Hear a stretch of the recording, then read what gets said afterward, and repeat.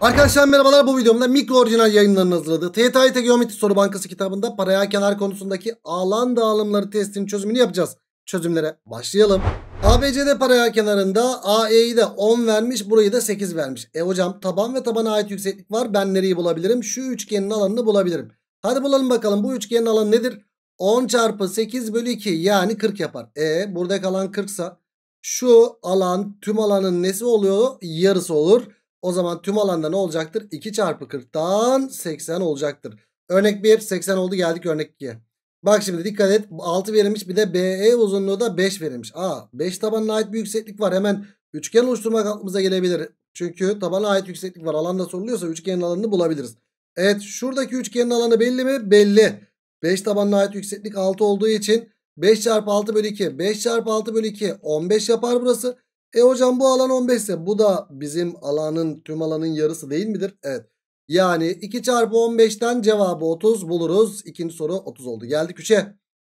Şimdi böyle sıkıntı yaşadığımız zaman genelde arkadaşlar biz 5 yıldızlı alan ben 5 yıldızlı alan dediğim işte şu alana 5 yıldızlı diyorum. Bu alan tüm alanın yarısıdır. Tabi farklı şekillerde yana doğru olabilir altı doğru olabilir köşesi farklı şekillerde de karşımıza çıkabilir. Sıkıntı yaşıyorsam alan dağıtamıyorsam o şekilde 5 yıldızlı alan özelliği var mı diye bakarım.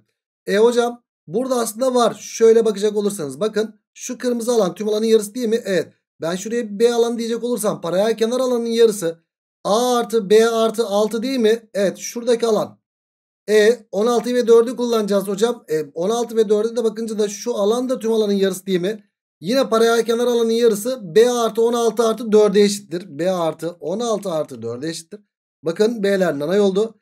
A buradan neye eşit oldu? 6'yı buraya atarsam 20 eksi 6'dan 14 mi oluyor? Evet örnek 3'ü böylelikle 14 bulduk. Geldik bir sonraki soruya. Yani örnek 4'e. Burada bir oranlama verilmiş. Arkadaşlar FB uzunluğu K verilmiş. AF uzunluğu 2K verilmiş. K 2K. E oranlama var. Alan dağıtımı yapacağımız belli. E hocam şöyle 2K'da kalan 12 ise K'da kalan kaç yapar? 6 yapar. Hemen oluşturduk. E şu alanda tüm alanın yarısı değil miydi? Evet alan ABC'de isteniyor. Şurası yarısı 18 ise o zaman 2 katı kaç yapacaktır? 36 yapacaktır. Örnek 4 böylelikle 36 oldu. Geldik örnek 5'e. Örnek 5'te de arkadaşlar neler verilmiş? Aşağıda eş paralel kenarlara ait farklı bölgelerin alanları verilmiştir. Şimdi bu tüm alanın yarısı geri kalanlar da tüm alanın yarısı olacaktır. O zaman 25 ise bakın bakın şu alan tüm alanın yarısı e, geri kalanlar da yarısı. O zaman S1'e ne kaldı? 15 kaldı. Sonra şuraya bakacak olursak hocam karşılıklı alanlar toplamı tüm alanın yarısına eşittir. Burada da şu karşılıklı alanlar toplamı da tüm alanın yarısına eşittir. Bu aynı paralel kenar mı ona bakalım. Eş paralel kenar olduğu için evet aynı paralel kenarmış. Şimdi 25 ise tüm alan kaç burada? 50. Hocam şu ikisinin toplamı da tüm alanın yarısı olacak. Yani burası da 10 mu olacak arkadaşlar? Evet ikisinin toplamı 25 yapması için.